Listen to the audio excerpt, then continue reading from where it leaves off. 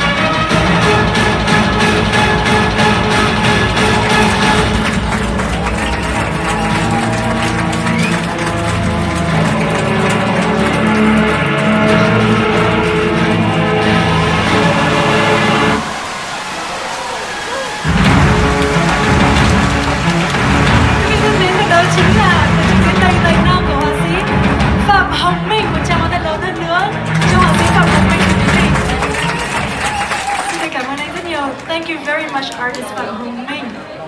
Và quý vị thân mến, Ngay bây giờ, chúng tôi xin được chính thức đem đến cho quý vị siêu phẩm đến từ